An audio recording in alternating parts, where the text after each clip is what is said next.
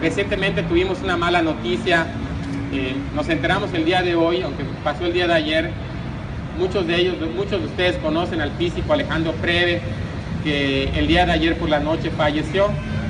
Alejandro Preve fue uno de los grandes impulsores del ajedrez en, todo el país. Mucho de, que se conozca el ajedrez mexicano se le debe a Alejandro Preve, de que muchos jugadores de talla internacional vengan a México se le debe a Alejandro Preve.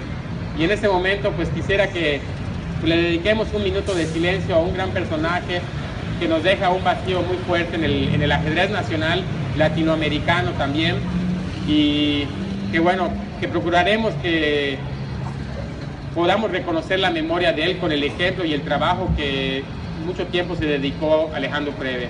Y bueno, les pido que dediquemos un, minuto de silencio en la memoria de, del físico Alejandro Preve, organizador internacional.